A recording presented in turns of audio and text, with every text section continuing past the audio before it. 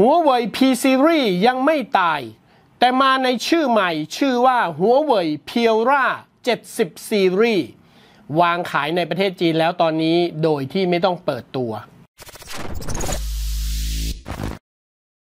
หลายคนอาจจะคิดว่าหัวเว่ยในระดับ global ในเขาอาจจะถอดใจไปแล้ว หลังจากที่โดนสหรัฐกีดกันสักขนาดนี้นะครับ แต่จริงๆ อย่างผมไปที่ประเทศจีนกับหัวเว่ยเมื่อปีที่แล้ว ผมยังถ่ายที่ช็อปเขานะครับช็อปเขาก็ยังเปิดตัว P series อย่างตัว P60 เนี่ยที่แผงกล้องหลังเนี่ยมันจะมีเลนส์ใหญ่ ๆ แล้วก็มีเลนส์เล็กสองข้าง คล้ายๆ กับมิกกี้เมาส์อยู่เลยนะครับ แล้วก็ยังมีรุ่น Art Series ที่แบบ มีออปชันในตกแต่งฝาลงฝาหลังสวยๆ เป็นลายหินอ่อนนะครับยังมีอยู่เลยยังทำตลาดได้ดีอยู่ด้วยในประเทศจีนนะครับ โดยที่เขาก็จะถูกกีดกันเรื่องชิปใช่ไหมครับ เราก็จะหันไปใช้ชิป Kirin ซึ่ง Kirin เนี่ยก็จะเป็นชิปที่ทางหัวเว่ยผลิตไว้เมื่อ 2-3 ปีที่แล้ว แล้วเอามา modify เพิ่มเติม เพื่อให้มันได้ประสิทธิภาพที่ดียิ่งขึ้น มา overclock มาทำการปรับ clock ใหม่นะครับให้มันแรงยิ่งขึ้น คุณ Richard Yu นะครับประธานฝ่ายธุรกิจของหัวเว่ยนะครับ ก็ได้ประกาศว่า 12 ปีมาแล้วนะครับสำหรับ P series เนี่ยนะฮะตั้งแต่สมัยเริ่มต้นเนี่ยนะฮะเป็นหัวเว่ย Ascend P1 เมื่อปี 2012 ปีนี้ 2024 ครบรอบ 12 ปีพอดีนะครับ ได้เวลาที่หัวเว่ยจะเปลี่ยนชื่อ P series ใหม่ เพื่อเป็นการปรับปรุงใหม่จะจะ reconstruction ใหม่จะ rebuild อะไรใหม่ก็ตามแต่นะครับ มันเหมือนเป็นการ rebranding ไปด้วยในตัว ปลี่ยนจาก P series เป็น p i r a series นะฮะแล้วก็ต่อท้ายด้วยเลขลงไปเลยนะฮะปีที่แล้วเป็น P60 ปีนี้ก็เป็น p i r a 70 series ไปเลย มี p i r a 70 70 Pro 70 Pro Plus แล้วก็ 70 Ultra ไม่ต้องจัดงานเปิดตัวให้ยุ่งยาก วางขายในประเทศจีนไปเลยนะครับ วางขายไปช่วงสิ้นสงกรานที่ผ่านมา เห็นเขาบอกว่าจะวางขายช่วงออย่างรุ่น 70 กับ 70 Pro Plus จะขายวันที่ 22 เมษายนอะไรเงี้ยนะฮะก็มีมาเลยนะครับ รูปร่างหน้าตาก็ปรับเปลี่ยนนะดีไซน์ใหม่นะครับ ผมมีสเปคมาฝากด้วยนะครับ p i r a 70 ซีรีส์ตัวนี้จะใช้ชิปเซตของ Kirin 9000S1 เป็นเวอร์ชัน Overclock ของ 9000S ส่วนอีก 3 รุ่นนะครับ Pro Pro Plus และ Ultra จะใช้ Kirin 9010 ซึ่งเป็น CPU 12 แกน นะครับเป็นชิป 12 แกน ซึ่งจะมีการอัพคาดว่ามีการอัปเกรดจาก Kirin 9000S นะครับโดยการปรับโครงสร้าง CPU ใหม่นะครับเป็นแกนใหญ่ 2 แกน 2.3 กิกะเฮิรตซ์แล้วก็มีแกนกลาง 6 แกน 2.18 กิกะเฮิรตซ์แล้วก็มีแกนเล็กเอาไว้ทำงานเล็กๆ อีก 4 แกน 1.55 กิกะเฮิรตซ์นะครับ แล้ว GPU ก็จะเป็น Marion นะครับ ผมไม่ค่อยคุ้นเลยเนาะชื่อยี่ห้อ Marion เนี่ย 910 นะครับตัวสเปคของหัวเว่ย p i o r a 70 ตัวนี้นะครับ เป็นหน้าจอ OLED LTPO 6.6 นิ้วนะครับ กระจกคุณลุ้นก๊าซนี่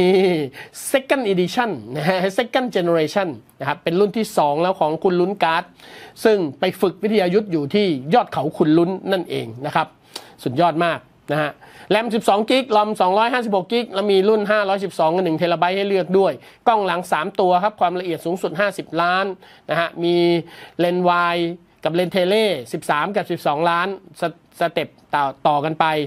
มีการสั่น OIS แล้วก็แบตเตอรี่ 4,800 มิลลิแอมชาร์จเร็ว 66 วัตต์ นะครับ ระบบปฏิบัติการจะเป็น Harmony OS นะครับ ซึ่งใช้ Google Service ไม่ได้นะครับเวอร์ชัน4.2 ไส้ในของ Harmony OS ก็จะเป็น AOSP ก็คือ Android Open Source Project นะครับ ใน Android เวอร์ชัน12 นั่นเองนะครับ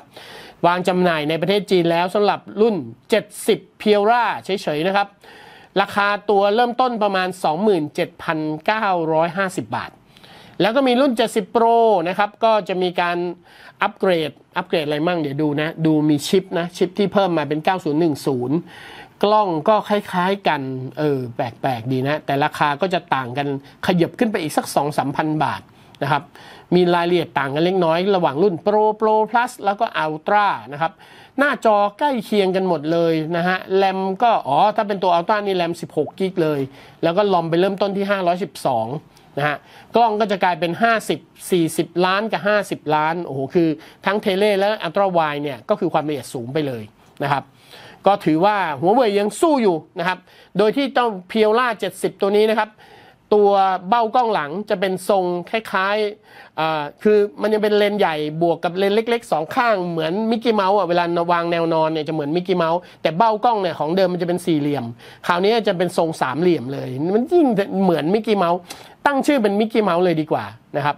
สื่อต่างประเทศก็บอกว่ามาแบบงงๆนะฮะเฮ้ยเออ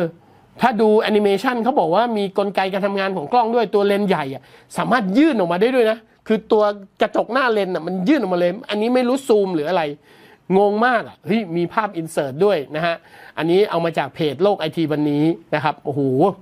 เฮ้ยเก่งเจ๋งมากอะเลนส์หลักแบบสามารถยื่นเข้ายื่นออกได้ด้วยอะเฮ้ยอีกหน่อยเราคงมีเลนส์ tele แบบยื่นออกมานอกตัวเครื่องนะ